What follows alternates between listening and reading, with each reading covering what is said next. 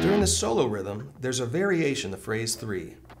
Here we will play B5, strum four times, and repeat. Down to A5 four times and repeat. To G5, sixth string four, fifth string six, and fourth string six. Strum four times and repeat.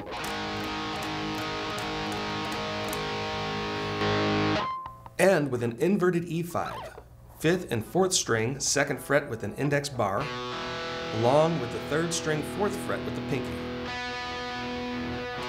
Add the fourth string four with the ring, and you have a B5 on strings three, four, and five. So we play E5, B5, and move everything up one string, and you have a six string F sharp five. Frets two, four, and four. This rings out in place of the F sharp 7, which we played earlier. Drop down to the A5, to the 6 string 3 with a bend,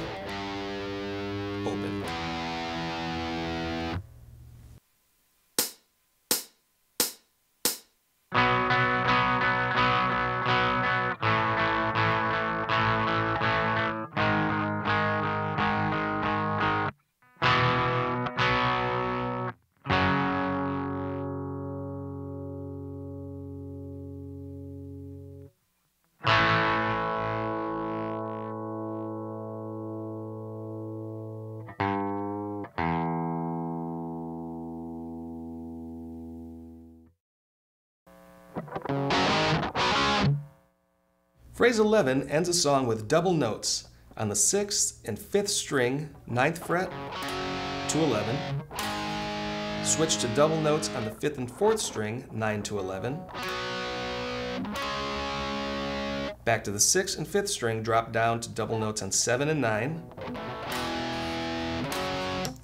Then end on the 5th and 4th string, 7 and 9 and ultimately end the section with an E5 power chord. Fifth string 7, fourth string 9, and third string 9. Strum twice, pause and strum again. Then repeat the rhythm.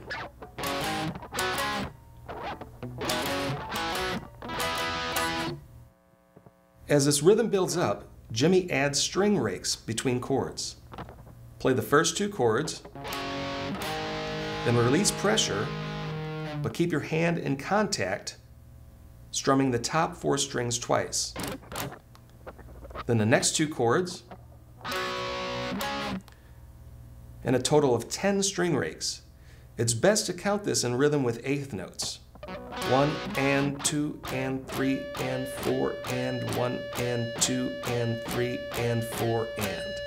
Then drop down to the next two chords double rake, play the next two chords on the fifth and fourth strings, followed by three rakes,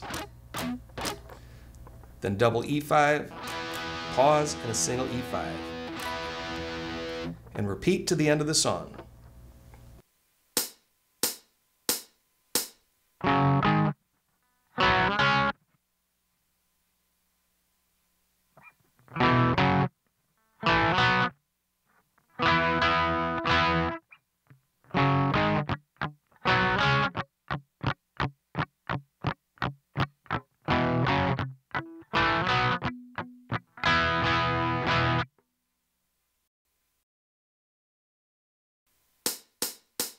Bye.